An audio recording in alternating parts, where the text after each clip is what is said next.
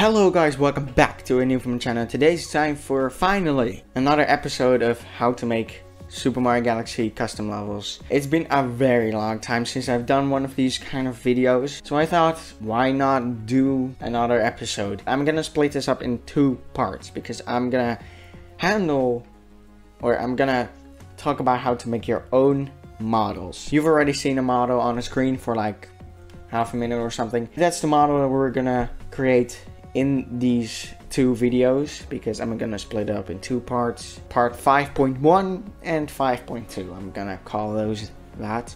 In the first part, we're gonna create the actual model, you know, the base of the model without any textures or anything. And we're gonna do materials. And in the second part, we're gonna do vertex paint and how to convert your model to an actual object in the game. So yeah, hopefully you're all excited for it.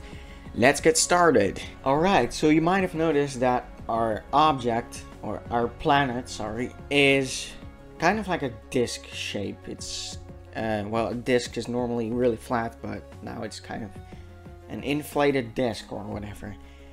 But if you look at the top left here, by the way, I'm using Blender version uh, 2.2.79.6. I'll leave a link to it in the description.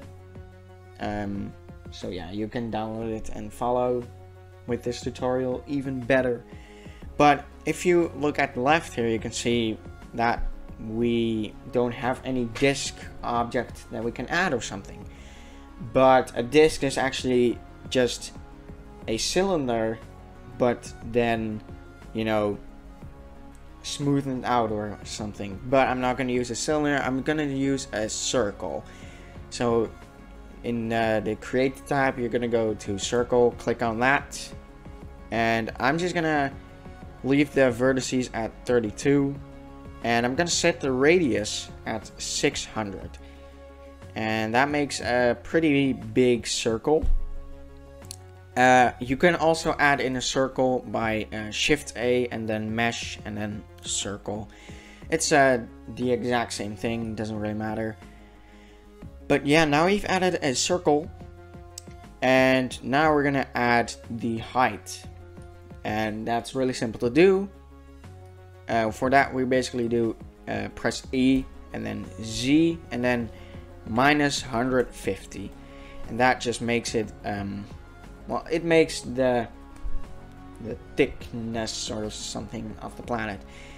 Uh, by the way, if you can't extrude for some reason, uh, that's because you have the face select mode uh, on. Because if you select everything and you have the face select mode on, and if you press E, then nothing happens. It just moves the, well, the the circle. If you have the edge select mode, then it will go fine. But I recommend you do the vertex select mode. So Z minus 50 or 150, sorry. And then you can pretty much fill out the bottom and the top. Um, just you can select the entire ring with alt and then right click on one of the vertices and that will select the entire ring. You can also do it vertically. Just a little trick or whatever.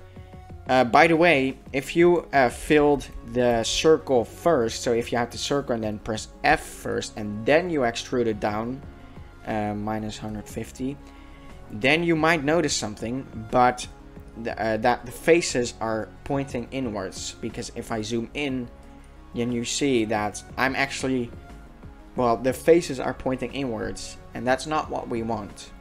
Uh, if you want, if you want to know how to fix that, select the entire mesh and then press Control N or that's Control B, Control N, and there you go. Now they're pointing all outwards, and yeah, that's pretty much it for um, the the circle.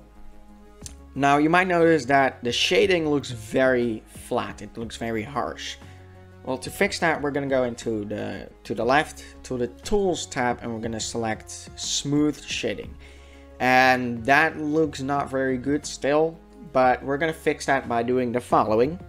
Going to edit mode again and then we're gonna go into edge select mode and we're gonna press alt and then right click on this and right click on the bottom too um, if you select everything then it will screw up the next step, which is that we're going to bevel um, the those two um, edges to make it like the smooth curvature of the of the disc.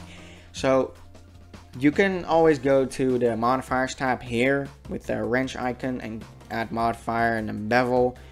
But don't do that. Just do the following instead because yeah, you can see it's gone back to that horrible shading. Um, just select the edges that you want to bevel and press, sorry, Control B in edit mode. Uh, and then we're gonna type in 75 and now you can see it's already a little bit smoother but it's still really blocky which is not what we want. So to fix that we're gonna scroll with our mouse wheel until the segments at the bottom. You can see segments is at 3 at the bottom. You can see offset is 75 and then segments is at 3 so make sure the segments is at 3 and then press enter or just left click. And there we go. Now we have a smooth disc but the shading is pretty terrible in the middle. And that's because there are vertices that are overlapping uh, which is horrible in models. Um, if you have any vertices that are overlapping, get rid of them. Unless you want this kind of shading, this harsh shading, then you can keep in the overlapping vertices. But if you don't want any hard shading, you just want smooth shading, then you can just select the entire mesh, press W and then press remove doubles. And now, if you can see at the top here, remove 32 vertices. And there we go, it just cleaned up the smooth or the harsh shading issue. And yeah, now we have a pretty good disc, but we're still not done because if you've noticed, there's a little separation between the grass and the soil. How to make that? Well, that's really simple. We're gonna go into edge select mode again, and then we're gonna select this ring, select the middle ring of um, edges. Then we're jeez, I can't talk for some reason. Okay, then we're gonna press Control B again to bevel it, and then we're gonna type in 20, and then make sure the segments is at 2. And then just left click or press enter, and then we're gonna press the middle ring of edges again, and now we're gonna press S and then point 0.98. and there we go. We have uh, made a little separation. But this is still one object. How do we separate the grass and the soil in different objects? Well, that's really simple. In the face select mode, just select or press Alt and click in the middle of two edges. And that selects the entire, well, the entire row of faces. And then just pretty much repeat it until you've selected the bottom half of the mesh. You can also go into front view and uh, orthographic view and then press Z to go into wireframe and then select the bottom half of the mesh but this works too. And then we're gonna press P and then uh, select by selection. And there we go. The top half and the bottom half are now separated and yes you may notice that the shading is well really harsh again but there's no way to fix that unless you um, well, you basically join the well the two separate objects back together and then remove the double vertices. But we're gonna leave it like this because um, it's good to have each uh, material, so grass, soil, wood, uh, stone, and all of that separated into each object. But yeah, that's basically the base of the mesh. Now we're gonna create the fence. To create the fence, we are well, we're not gonna do every single fence individually, like uh, create one fence and then place it just right in here. No, we're gonna do it procedurally as it's called. So to do that, we're gonna add in a circle again, and we're gonna change radius from 600 to 580. Um, I'm not gonna explain why. Just just do it, okay? Um, just well, just to explain it in one sentence. Um, if you change it to 580, then the fence will not stick out of the of this little uh, separation like that. You can see well okay you know what? Let's just move on. All right. Well now we have a circle and now we're gonna move it down by minus 75 and now I can see the circle anymore but it's still there. See? It's still there. All right now we're gonna add in a cube with a radius of uh, 30 and then we're gonna move it up by well by 30 and we're gonna scale it on the x-axis by uh, 0.45 and it already starts to look like a fence but a fence is normally like that and really pointy at the top. So to make that we're gonna select the top face press E to extrude and we're gonna type in 50 to move it up by 50 oh my microphone almost fell. Okay. And then we're gonna select the air well we're gonna uh, select the edge select mode and then we're gonna select this edge and this edge. And then we're gonna press Control B and then make sure the segments is at 1 and then we're gonna type in 30 and there we go it already looks like a fence but by beveling it with 30 we uh, have made vertices that are overlapping so we're gonna remove the doubles again um, by pressing W and then remove doubles and that has fixed the issue it looks a little bit thick, I guess. That's how that's when you... I don't know how you want to call it. I'm just gonna call it thick. I'm gonna scale down on the y-axis by, I think, 0.75. I think that looks a whole lot better. Uh, you can also delete this face if you want, just to save on uh, tris, because you have to keep an eye on the amount of tris that you have. Because Super Mario Galaxy or well, the Wii can handle like I think around 4,000, 400,000 tris in total. Maybe even more, I don't know.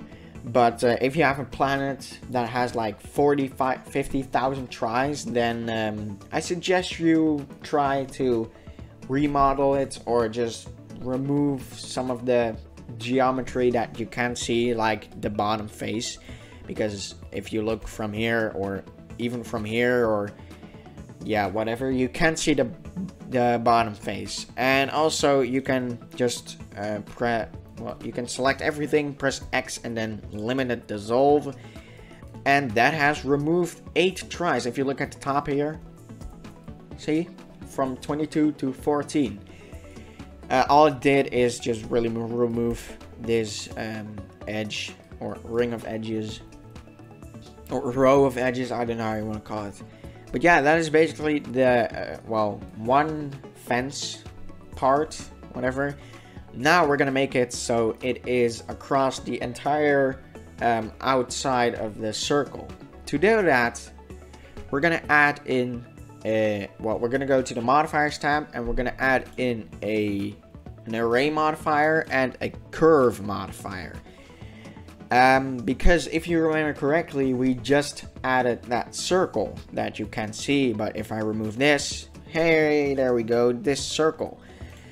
And we want that fence to follow that entire circle. To do that, we're going to go into the uh, curve modifier and we're going to select the circle from the object, but it's not here. What? Why is it not in this little drop down menu?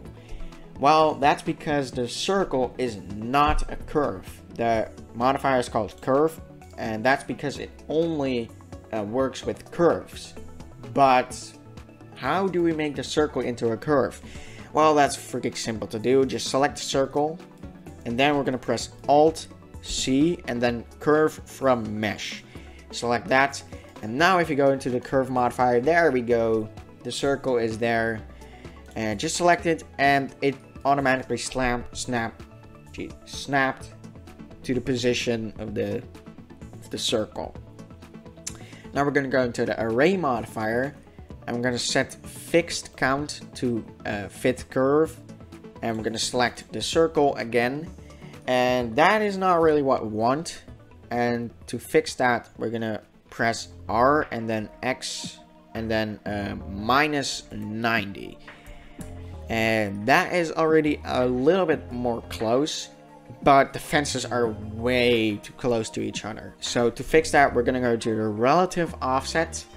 I'm gonna type in 4.1 and there we go. That is looking really good. But I feel like the fences should be rotated like this because now I think they should they're better when they're like I don't know. I uh, yeah, whatever. Um so to do that, we're gonna go into edit mode, then select the entire mesh, then press R, Y, and then type in 90 and there we go, that looks a whole lot better for, in my opinion. You can leave it like uh, what we had before, but yeah, I think this looks better. And uh, yeah, that's basically how we make the fence. So we can apply these modifiers. And yeah, that was actually really simple to do. Um, also, I'm gonna smooth out the shading and I'm gonna add an edge split modifier and apply it. And then we're gonna select the circle or curve, I don't know how you want to call it. And then we're gonna press Alt C and then mesh from curve. Because what we're gonna do what we're gonna do now is create the little well fence board that's in between the fences. I don't know how you want to call it. But I'm just gonna call it fence board um, we're gonna go to edit mode, select the entire mesh, and then press S, and then 1.04. Is that right? Uh, I'm actually gonna do like 1.12, and then uh, yeah, I think that should be fine. That's gonna be the high highest point of the fence board. Then we're gonna press E and then S and then point 94 and that that is that is perfect. Okay. But it doesn't have any height. And it's also invisible from the from the bottom. So to fix that we're gonna go into edit mode press G Z and then we're gonna move it up by 5 I guess and then press E to extrude then Z twice, I guess, and then minus 10. And that is looking pretty good, but the faces are pointing inwards again. Uh, yeah, you already know how to fix that. Just select the entire mesh, press Ctrl N. And I'm gonna smooth out the shading and apply the edge split modifier. And there we go. That is how you make the base uh, model. Now we're gonna add the materials. So, um, yeah, how do we do that? How do we add the materials? Well, that's actually really simple. And by materials, I also mean textures uh, and images and all that. So, we're gonna select the uh, the top half, which is the grass. Um, this this top half, and then we're gonna go into this tab, the material tab, press new and then we're gonna rename it to grass just to keep it organized. And I'm also gonna rename this to grass to keep it organized you know. And then we're gonna go into the texture tab and press the new button. And then we have to select an image. And I'm just gonna do like real quick um, I'm gonna see you in a sec once I find the image so See you in a sec. Alright, and I have found the image. It's called Surface Pattern 18 Yoko B. I don't know how you want to call it, or how you want to say it. And there we go. We have just applied the texture. I'm just to call this, I'm just to call this the same as the image. Uh, but nothing has happened. Why is that? Well, that's because we are still in solid view we have to switch to material view and bam, it's still not looking great, but it has the color of the grass.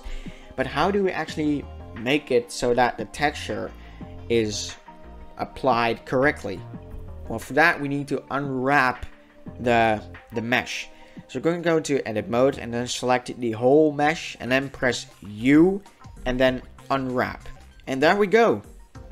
Now it is looking really, really good. But I feel like it's a little bit too zoomed in. So we're to go into edit mode. So make sure the entire mesh is selected. And then we're to go into the top here and then switch from default to UV editing. And uh, let me just switch to material view again. And we're to select the whole thing and then press S. And then I think uh, 2.5 should be okay. And that is looking a whole lot better. Um, and then we're going to do that for the, well, for the, the soil and the wood. So I guess you know how to do it now that I showed you how to do it. So I'll be back in a sec. Alright, and I'm back. I've just done the entire model and yeah, um, as you can see I've done the fence too. Uh, the fence and the fence board basically have the same texture, but I think that that's okay. I still think it's a little bit too zoomed in, so I'm gonna zoom it out by 2, and then select this, and zoom it out by 2. 2. and there we go, that's a whole lot better. And yeah, that's basically how you do materials. And uh, it's really simple. Um, the only maybe really painful thing to do is if you have a really complex shape and then unwrapping, like press U and unwrap, doesn't work that well. Uh, maybe you can get away with Smart UV Project, uh, which looks uh, like this. Doesn't really work for this uh, shape. But uh, yeah. But yeah, that was it for this first part. Uh, I don't know how long it was. Um, it is 25 minutes. That's a little bit long. But whatever. I had to explain quite some stuff. But yeah, I hope you enjoyed this part. And in the next part, like I said, we're gonna do uh, vertex coloring, which is basically adding uh, shading, so darkness and all of that. And we're gonna convert our model to an actual object that you can place in the game. So yeah, I hope you enjoyed this video. If you did, make sure to leave a like and subscribe. And also make sure to hit that notification bell because um, why not? I mean, come on. I need views. That's not a joke. But whatever.